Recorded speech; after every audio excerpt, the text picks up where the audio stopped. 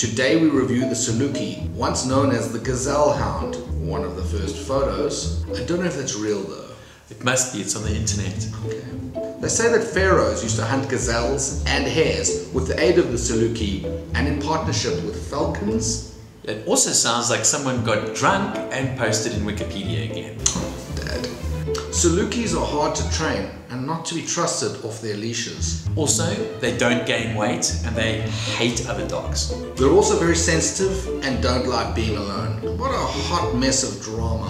So basically, they are the supermodels of dogs. The Saluki most acts like a supermodel when backstage at dog competitions, often complaining that their pellets aren't cold enough. Yeah. They're also one of the few dogs who prefer champagne.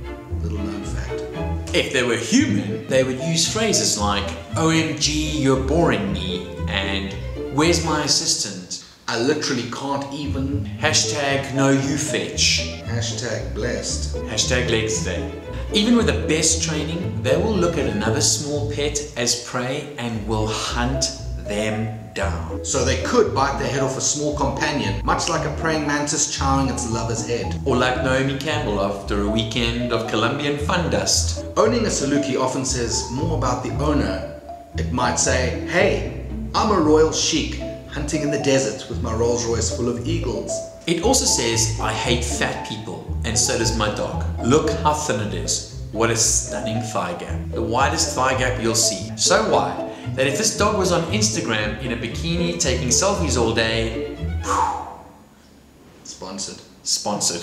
Hashtag blessed. Hashtag more blessed than the most blessed thing. Good names for the Saluki are Prada, Gucci, and Chardonnay. Or Hefe. The celebrity lookalike is Kate Moss. Obs. But also Jennifer Lawrence during her short hair phase. Hot. We give the Saluki five paws out of five. It's a winner of America's Next Model. Next time, we review the ugliest dog competition. What makes a dog really and truly ugly? Could it be its breath? Dog review with B&B.